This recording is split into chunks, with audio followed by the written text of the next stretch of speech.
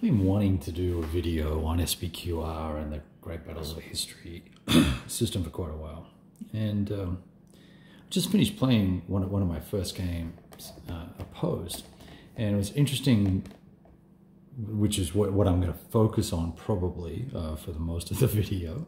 Uh, it was interesting the number of rules lookups that we had to conduct.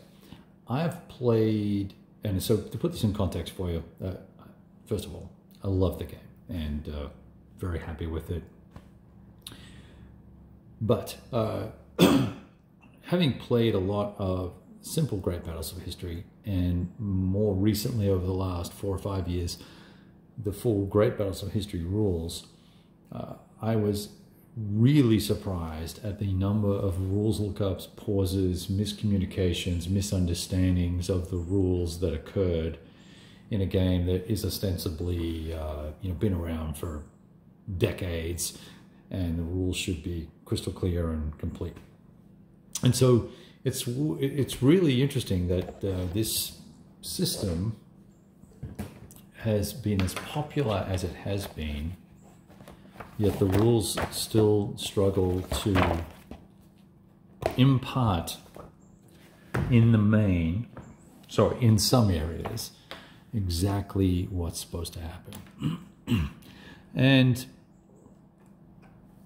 part of that, I think, is that each module has its own unique flavor and specific things that need to happen in a, in a specific way or maybe slightly different from one module to the next. So, uh, you know how reaction works in some is in some modules is different than how it works in others and how command obviously works is very different from from error to error.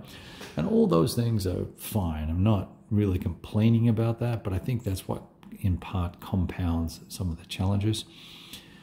So one of the things that i knew rock solid knew was that when your leader is in range and you activate do a line command or activate some do individual commands with the with the full system uh, your units that are in zones of control have to continue fighting. Now somehow between myself and my gameplay partner we managed to gloss over misunderstand miss that or not not grok it correctly as we were focusing in on you know, there was a gap here, right? Uh, now focusing in on uh, that specific about the, the rules and, and how it, it, plays out. Because obviously what you want to do is once these guys get engaged, you want to, it, the, the battle needs to evolve. It's not like these dudes are standing here pushing against each other for the equivalent of four turns in actual fact, what's probably going to happen is pretty quickly one side is going to give or the other will give. and so, you know, with these double depth uh, uh, phalanxes, we we had a pretty nice little run at things, forced several uh, cohorts to retreat or rout.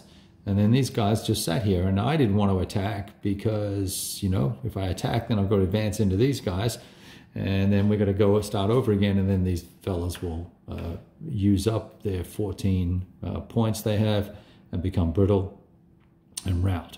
So I, I, wanted to withhold and for some reason i didn't grok or remember that we needed to do this. So that there were some cavalry things we did wrong there were some elephant things we did wrong there were uh, uh die rolls of doom that we forgot to take account of, and it, and all of that's okay it, because the game was still fun and we still enjoyed it all. But every time we went to find something in this rule book, it really took it took a lot of work. Uh, two of us flipping through rules, trying to work our way through this index, which is really not particularly comprehensive, although it may look it, it's not. Um, and I really struggled with it. And this is the latest edition. I had not actually cracked the shrink on this yet. This is my other copy, my older copy, but I couldn't find the charts, so we had to pull the I had to pull the shrink off my my, my new version, and it I was expecting this to be, I guess, cleaner and crisper for some reason, but it really wasn't, and it was uh, it was really kind of disappointing. But that said, uh, uh, I think it is, uh, Cephalae, whatever it is. Uh, a great and interesting battle. There's lots of uh, discussion online about this particular battle and what actually happened uh, and what could have happened. Uh, you know, none of the Romans set up as uh, as you know double double stacked cohorts and whatnot, so that puts them at a big disadvantage. And based on the way the rules read, if you enter the map or are on the map not stacked up, you can't. And we didn't find anywhere where it said you could stack. Uh, so that was a big disadvantage for for the for the Romans.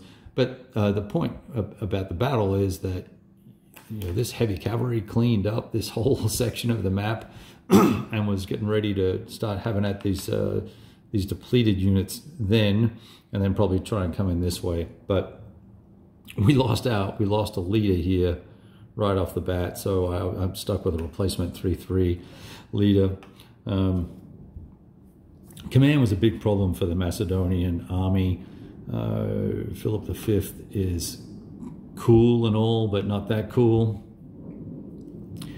So it's an interesting battle fought on difficult terrain for the phalanx and difficult terrain for the for the Romans attacking uphill. Basically, I let them come to me.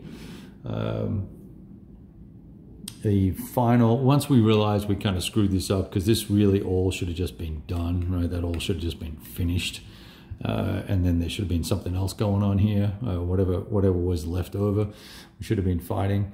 Uh, but we did end up at uh, Romans with 66 rout points and the Macedonians with 25. Um, I, I don't see, with, with the elephants on the wrong side of the map and the heavy cavalry on this side of the map with nothing really opposing them. I don't see how the Romans do well in this game unless they can stack their little cohorts and, and, and go head to head and bleed out this uh, set of double phalanxes. Uh, otherwise, otherwise they're really just in, in dire straits. so everything else is pretty fragile for for the Macedonians, generally speaking. Uh, he was starting to whittle away my my left flank here, and plinking away at these uh, little javelin light light units, bringing up his heavies, and then he could follow through and, and take care of these guys uh, pretty easily. I think legion on legion against these phalanxes, he'll he'll probably win most of those battles just because he's going to get a size advantage on me if he can put three three of these guys against one of these. Uh, unless I can get these into double depth mode, which I can only do with the overall commander. So had a lot of fun, but we were both just taken aback by how how much we struggled finding things in the rule book. It's not a complicated game. We got uh, three three turns done today, two and a half turns maybe. I don't know, maybe three turns done today uh, in uh, three three hours, hour a turn. So it cranked along pretty nicely. I was uh, uh, really happy with the progress. But overall, just a, a disappointment there. The new scenario book, though, is is really well laid out. This is done uh, extraordinarily well.